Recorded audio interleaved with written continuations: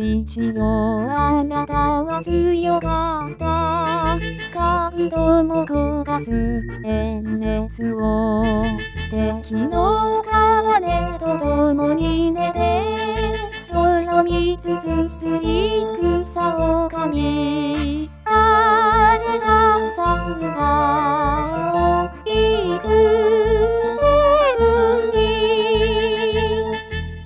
くこそ打ってくださった。夫よあなたは強かった。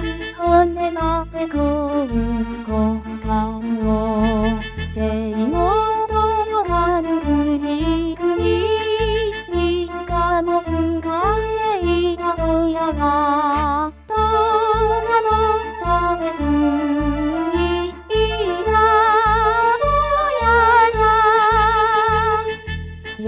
こそがってくださった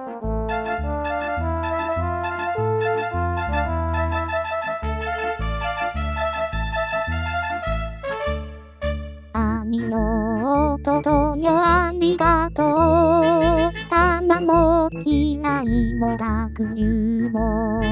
の日に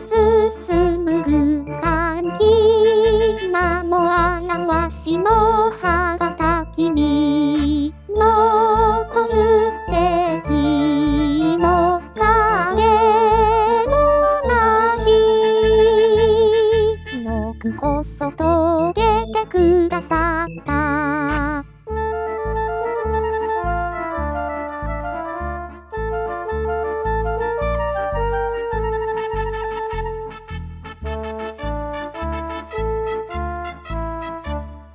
友よ我が子よありがとう。